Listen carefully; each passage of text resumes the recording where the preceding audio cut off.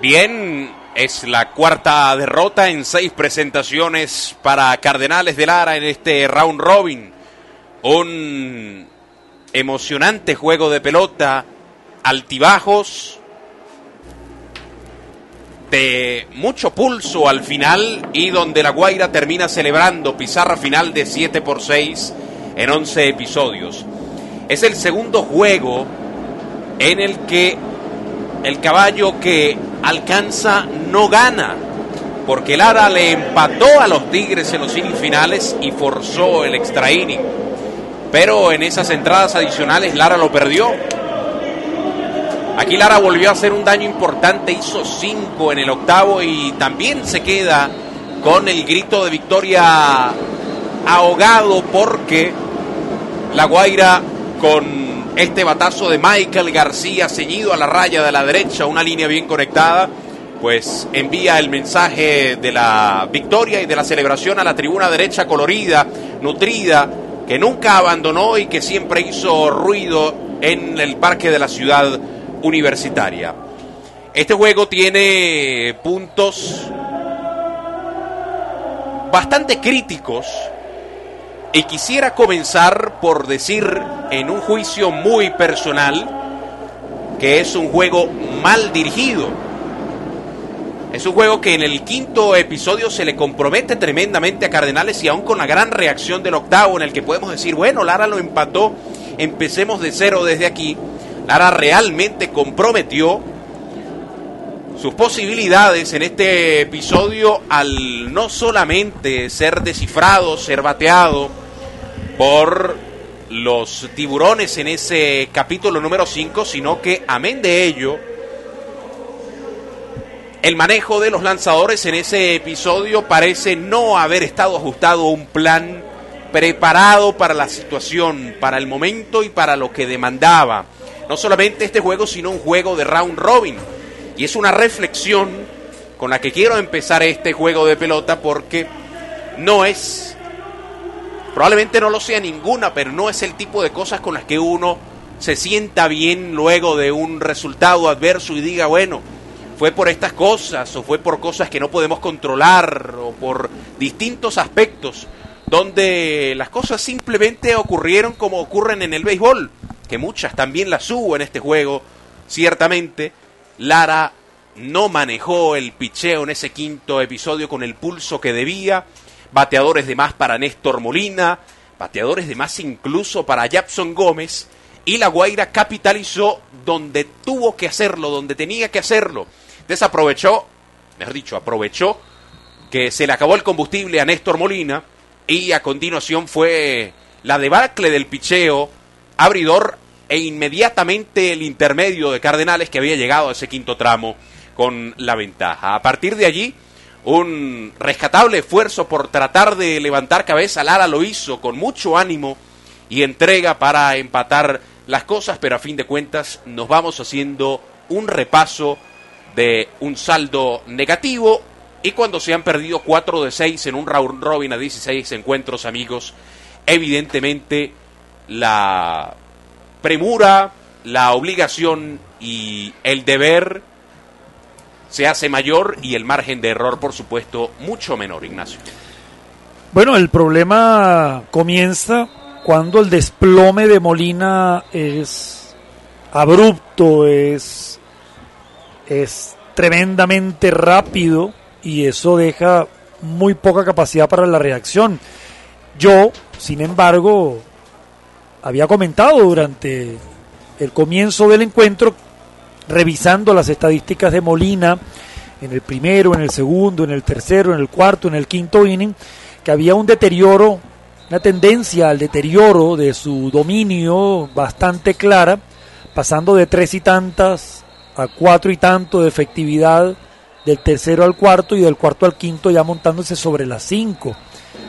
Y en ese sentido, la verdad, yo bueno, no sé si estoy recogiendo la leche derramada, pero a mí me hubiera gustado que hubiera un lanzador ya listo pensando en ese quinto inning eh, antes de comenzar el quinto episodio. ¿Es eso y respetar a Molina, tenerle a un pitcher calentando ya cuando él empieza a soltar el brazo en la lomita?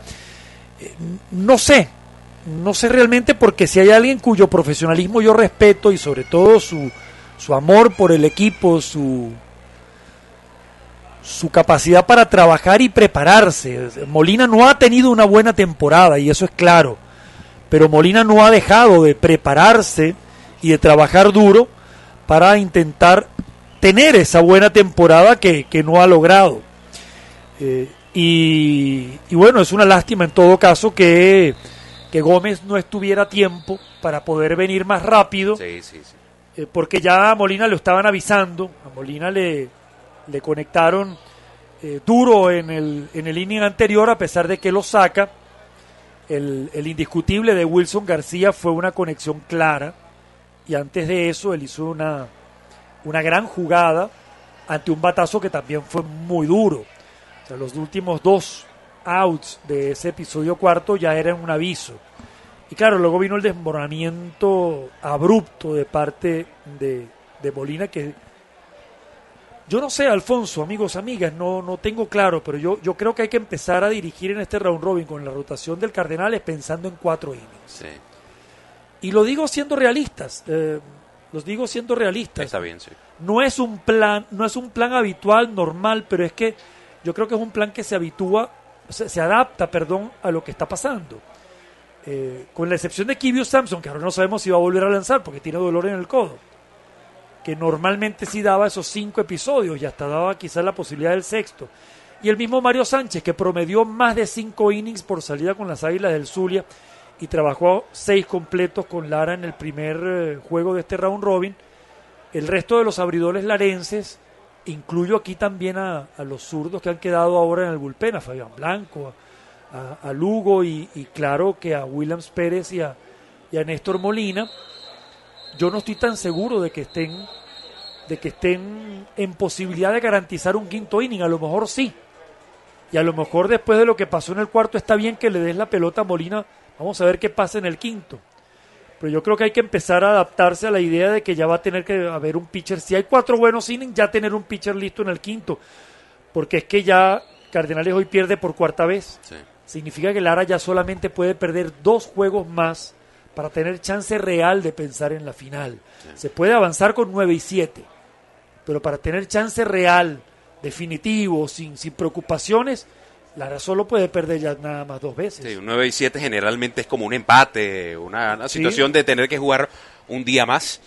Y, y además de un muy buen planteamiento, es una reflexión que nos corresponde hacer aquí, al menos en el análisis, y unas reflexiones que pueden sugerir y pueden acercarse al punto en el que queremos dar con el clavo, eh, creo que lo que no puede volver a pasar, más allá de fallos en planificación, cosas del béisbol, repito, el quinto inning, amén de que se le da a Molina, van pasando los bateadores y no hay reacción de poner a calentar a nadie en el bullpen. es que no, no tenías por qué no dárselo. Había sacado el inning anterior eh, eh, rapidito a pesar de las dos conexiones duras. Pero, y sacó el cero.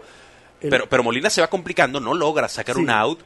y, y la suma de las situaciones que van creando los tiburones no nos llevan todavía a ver a un pitcher calentar. Y parece que el que se levantó a calentar no era necesariamente pensando en los derechos que potencialmente iba a enfrentar Molina y no debía enfrentar, empezando por, bueno, Michael García no, porque no le dio tiempo a Jackson Gómez. Molina no debió enfrentar a Michael García.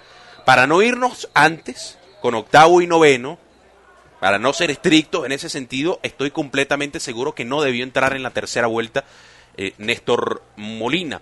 Y se notó la ausencia hoy de Luis Contreras tremendamente. Era el pitcher con nombre y apellido de esa situación y quizá con la seguridad de que estaba, de que ha estado Luis Contreras allí, seguramente hubiera calentado antes, pero hoy es como que de repente faltó esa carta y era buscando opciones en, el bullpen y lamentablemente no llegó la que pudiera frenar lo que a fin de cuentas fue el inning grande de la Guaira clave en su victoria. Con Facilito Bet juega fácil y cobra seguro a diario. Más de 33 años siendo la mayor organización al servicio de tu suerte. Únicos en procesar tus retiros en tiempo récord y todos los días del año. Facilitobet.com. Cobra fácil. Cobra seguro. Bueno, el Cardenales ha utilizado ya a Andrés Sotillé tempranito para, para atacar reacciones Lo, lo llegué a pensar. también. contrarias, ¿no? Y, y el mismo caso, uno podría pensar, bueno, tal vez Pedro García no. Yo pregunté antes del juego si a Pedro García había que tirarlo a la candela y, y a mí Mendoza me dijo que sí, que lo van a tirar a la candela, independientemente de que nada más tenía un juego antes del de hoy. Eh, o sea que está, porque además Cardenales ha tenido este problema, que varios de sus pitchers fundamentales no están rindiendo. Así es. O sea, Japson Gómez eh, es el setup del año, pero ayer lo aclamaron con ese premio, ayer le dieron un jonrón, el zurdo al que vino a enfrentar eh, en un episodio, hoy vuelve a relevar y la vuelve a pasar mal.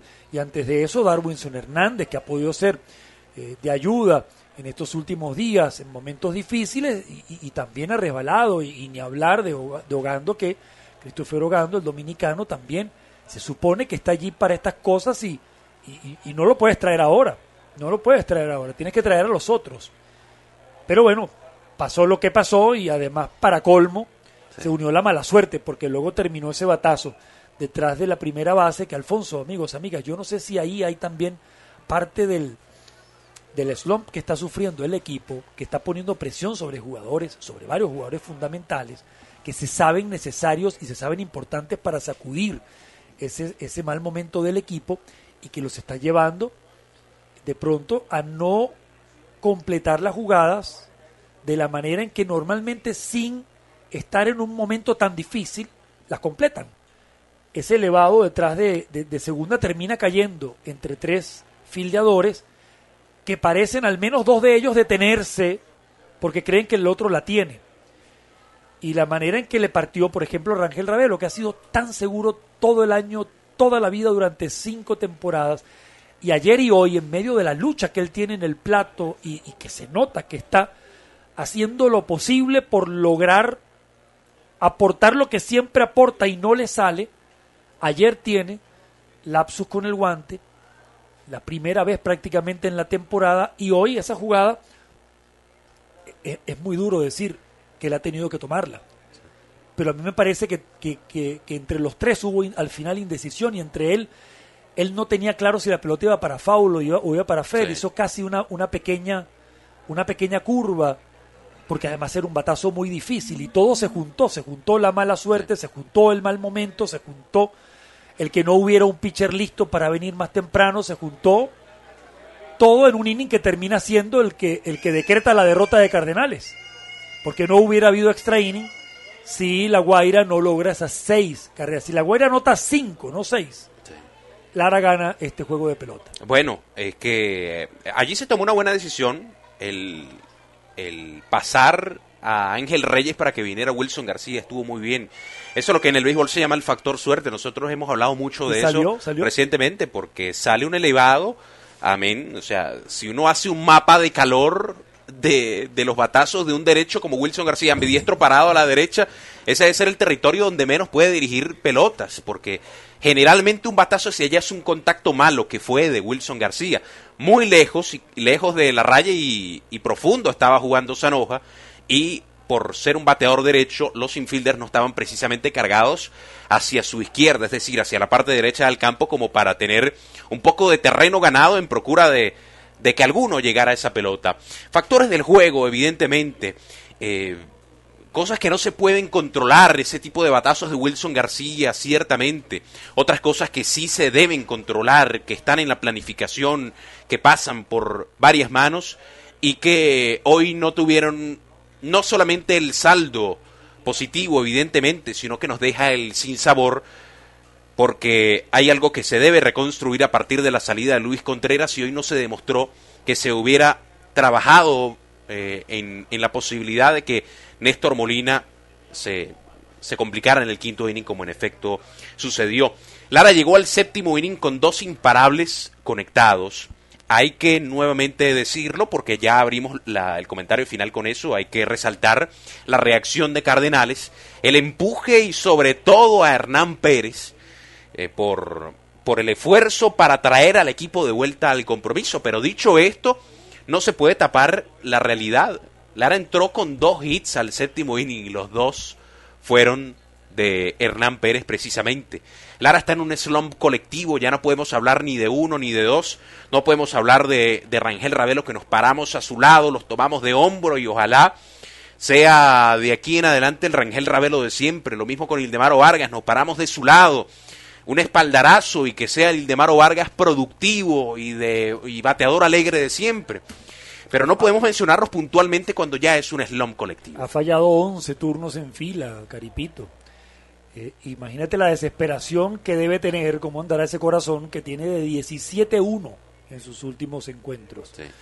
Y eso, el, lo que estamos viendo en la, en la expresión corporal y en, y en, la manera en que toma algunos turnos, alguien tan que juicioso, o dirían en el fútbol, en el fútbol argentino, tan criterioso, tiene tanto criterio tomando los turnos. Eh, Rangel Ravelo eh, y uno, uno entiende, uno entiende. hoy Hernán Pérez echó el equipo al hombro o trató de hacerlo como el cuarto bate. Eh, pero sabes qué, Alfonso, amigo, saben qué, amigos, amigas, que también hay algo que, hay que resaltar y es que en medio de un slump todo lo, todo se ve peor. porque un slump colectivo te deja de manos atadas en todo lo demás. El más mínimo fallo que tú cometas se convierte en un fallo enorme si Cardenales estuviera produciendo de la manera en que produjo en la ronda eliminatoria, Cardenales no habría estado en los aprietos que le hemos visto recientemente, porque no se le habrían visto las costuras, porque tendrían más apoyo sus lanzadores. Ilustración rápida de lo que tú dices, Ignacio. Evidentemente el quinto inning se le salió de las manos a Cardenales, pero el simple pestañeo de Néstor Molina que lo tuvo allí, se le acabó el combustible, ya estaba perdiendo. Pim, pum, pam, abajo en la pizarra, porque Lara solamente le había dado un jonrón de Hernán Pérez de apoyo. Y, y, por eso hacemos tanto énfasis en el tema estratégico, porque además era un juego de una carrera. Mérito para Nelson Hernández, ¿no? Uno, uno podría decir, bueno, y, fueron incapaces de batearle al abridor más inconsistente de la Guaira. Bueno, mérito para el pitcher, mérito para el pitcher también que hizo su trabajo, porque los que estaban en el plato son profesionales. Pero sí, él algo habrá aprovechado de esa masa verde que recubre a un bateador o a un grupo de bateadores cuando están en el momento tan malo en que están los pájaros rojos. Hay que resaltar algo, por cierto, en medio de, en medio de las, de las cosas que, que quedan para la amargura y, y, lástima que no se ganó a pesar de esto. Si uno revisa las actuaciones después de Japson Gómez, uno tiene un inning en blanco de Pedro García, un inning en blanco de Luis Madero, un inning en blanco de José Adames, un inning en blanco de Andrés Otillet, un inning en blanco de Vicente Campos. Es verdad, Campos falló en su segundo inning, pero bueno, ya estaba para su segunda entrada. En lo que sería la labor que uno les hubiera pedido para proteger un juego, si Cardenales hubiera podido producir frente a Nelson Hernández, todos los que vinieron a partir de Pedro García hicieron el trabajo. todos. y y el trabajo del bullpen de la Guaira igualmente loable, porque Lara, Lara encendió la llama en el octavo, la llama también se apagó allí. Lo de Antón. Ah, lo de Nate Antón, después Arnaldo Hernández, pero sobre todo Antón. Antón un portazo en la cara. Se tira, se tira el relevo del juego, a fin de cuentas, para quien termina siendo ganador, para cómo terminan las cosas, el relevo de, de Antón es, es determinante. Y son las cosas que suman entonces las virtudes de la Guaira, pero por supuesto, en el circuito de Cardenales, alguien me comentaba, bueno, pero ¿por qué no hablan del, del rival? Es que en el circuito de Cardenales tenemos que analizar a fondo lo que pasa con Cardenales, porque es nuestro deber. Bueno, aquí, junto con las cosas de... Eh, tantas cosas que puede decir La Guaira, ¿no? Antón, eh, Arnaldo Hernández, el mismo Nelson Hernández, el doble de Michael García, los turnos de Michael García realmente en este juego de pelota. Hay tanto por allí, pero sobre todo lo que nos compete, las cosas que fallaron en Cardenales, en ejecución, en planificación, y en fortuna, digamos también, pues aquí es donde nosotros hacemos el hincapié de, este resultado que es la cuarta derrota en seis juegos. bueno, nosotros siempre hablamos un poco del rival como, como acabamos de hacerlo, reconociendo que Nelson Hernández no era un puchimbol que habían puesto allí para darle golpes fácilmente, ¿no? Hizo su trabajo, se juega contra alguien. Tú no estás solo. Pero bueno, Héctor Cordillo hace unos comentarios estupendos siempre desgranando a los tiburones de la Guaira y eso también lo pueden escuchar y van a, nutrirse mucho más de lo que nosotros podamos decir de los tiburones. Alfonso, el Cardenales está en una situación complicada. Hoy eh, si, si Leones perdiera, llegaría también a cuatro derrotas. En este momento están ganándole a los Tigres, están en la parte alta del tercer episodio allá. E independientemente de aquel resultado, si ganan los Tigres, el conjunto larense quedaría a juego y medio de la clasificación, es decir, del segundo lugar del round robin, juego y medio si ganan los Tigres. Si ganan los Leones, la diferencia sería juego y medio del primer lugar. Porque eh, Aragua caería a 3 y 3 y entonces empataría el Caracas con 4 y 3 a los tiburones. En este momento nosotros estamos a juego y medio de La Guaira. Entonces, mañana o amanecemos a juego y medio de La Guaira y de Caracas, o amanecemos a dos juegos de Aragua y a juego y medio de La Guaira, con dos juegos pendientes contra los Tigres y bueno, hay que decirlo, relativamente cerca de los escualos. O sea, todavía hay mucho trecho por recorrer. Sí. Pero lo dicho, esta derrota tiene la complicación de, al producirse en solamente seis juegos, le deja al Cardenales el trago difícil, o sea, el reto, el desafío de, de ganar ocho de diez para poder cerrar entonces con un balance que le dé tranquilidad pensando en la final. Por supuesto, esto lo decimos nosotros aquí al aire, que los peloteros no nos escuchen, que ellos vayan día a día pensando en ganar mañana y después de que ganen mañana pensando en ganar pasado mañana, porque sabemos además, se ve la presión y esa presión y ese compromiso lo tienen todos, desde el gerente general, pasando por el manager y sus coaches hasta el último de los peloteros que bueno que están tratando y no les salen las cosas. Es muy bueno decirlo y bueno que va a limpiar un poco esta derrota, limpiar un poco porque el contexto está bien explicado. Bueno, ganarle a los Tigres los dos en Maracay, que es fácil decirlo y otra cosa es que pase. Eh, creemos que el equipo está para que pase, pero es que al frente hay un buen equipo y, y había gente menospreciando a los Tigres. Mira cómo están los Tigres con balance positivo y hoy en el primer lugar. Esas son las cosas del béisbol y del, del round robin. Ganando dos, te permite terminar esta segunda rueda del calendario del round, del round robin en 500. Y mientras todos se mantengan parejitos, pegaditos, no habrás perdido demasiado eh, a partir de, de, lo doloroso que es tener cuatro derrotas en seis juegos. Aragua posiblemente no lo ha anunciado, pero debe ir con Guillermo Moscoso y David Ramos. Así que va a ser eh, un reto importante. Lara va a ir con Williams Pérez en el primer choque y con Joanner Negrín en el segundo. Negrín viene de lanzar bien en una liga bastante ofensiva como la mexicana. Él estaba con José Moreno, ¿no? Allá. Creo que estaba con los yaquis, con los yaquis, con los cañeros. Con los cañeros. Con los cañeros. Y aquel es un circuito de bateadores y él, no tanto como el circuito de verano, pero es un circuito ofensivo y él viene de lanzar bien. Es un súper veterano, vamos a ver cómo le va en todo caso, va a ser una adición que ese día, el miércoles, veremos por quién entra finalmente al roster. De todas maneras, porque estamos con el corazón partido, ustedes al otro lado de, donde nos estén escuchando, el celular, el radioreceptor, el, el, televisor, si tienen algún servicio que les permita escuchar la transmisión del, del Cardenales por allí. Estamos con el corazón partido pero todavía falta más de la mitad del round robin. Y este es un equipo que como todos los equipos en el todos contra todos, tiene dificultades, pero también tiene un grupo de caudillos. Prácticamente todos los titulares lo son.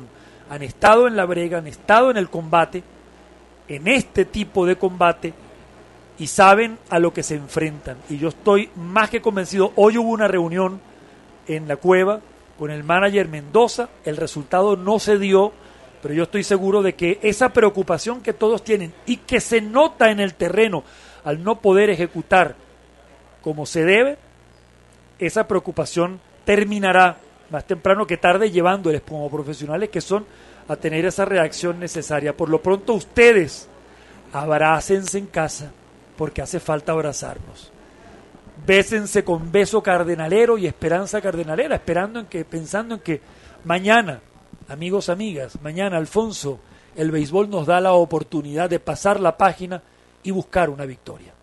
Yo quiero cerrar con lo más importante para que la gente no crea que es que las derrotas vienen por, por algún tema anímico en la cueva. Ese equipo está entregándolo todo y el béisbol nos nos da todo tipo de momentos, los buenos y los malos, pero el ánimo está muy bien y ese grupo sigue creyendo en sí.